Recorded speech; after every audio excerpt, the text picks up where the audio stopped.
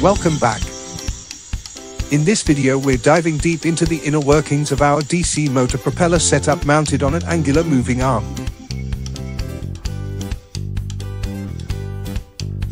As we change the desired angle, the PID controller works tirelessly to minimize the error, adjusting the motor's speed to bring the arm to the desired position.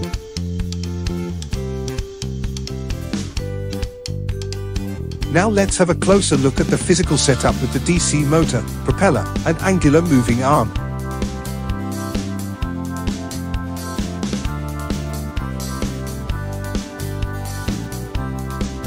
The items you see now are the components needed for the setup. A DC motor, drone propeller, an Arduino UNO, one IRF 520 MOSFET, one MPU 6050 gyroscope module and lastly 12 volt energy source. Let's explore the wirings and connections in detail.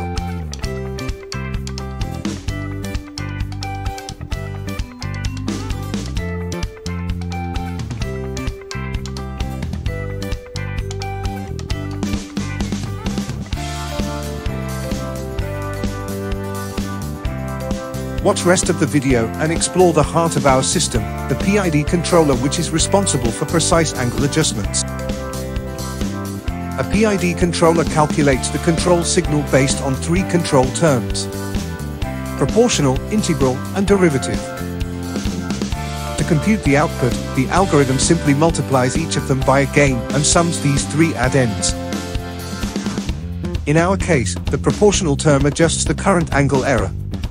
The integral term accumulates past errors, and the derivative term anticipates future errors. Now, PID implementation in Arduino code.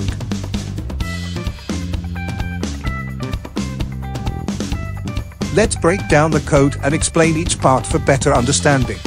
These lines include the necessary libraries for I2C communication and the MPU 6050 sensor. This line defines the PWM pin to which the IRF 520 MOSFET is connected.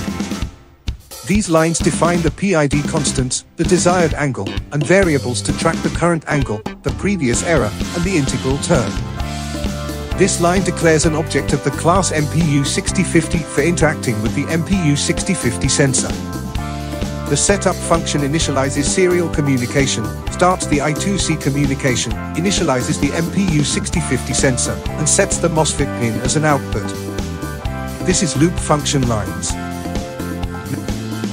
Proportional term scales the current error by a constant factor.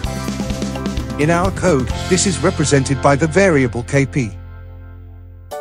Moving on to the integral term, it considers the cumulative sum of past errors. The variable ki in our code governs this accumulation.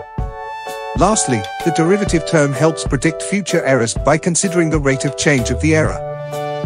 This is controlled by the variable kd. Tuning these parameters, Kp, K, and Kd, is a crucial step. It's like finding the right recipe for our PID controller to ensure smooth and precise movements.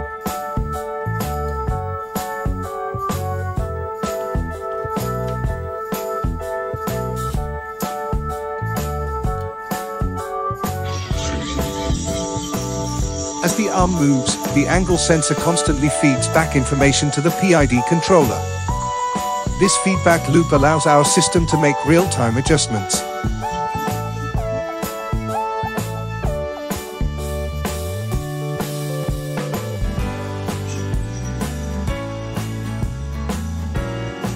Notice how the system responds smoothly to changes, thanks to the PID controller's continuous adjustments based on the feedback it receives.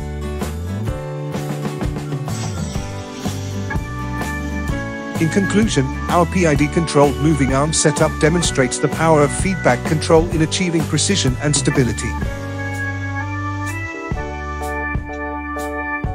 Thank you for watching. If you enjoyed this deep dive, don't forget to like, subscribe, and hit the bell for more exciting projects.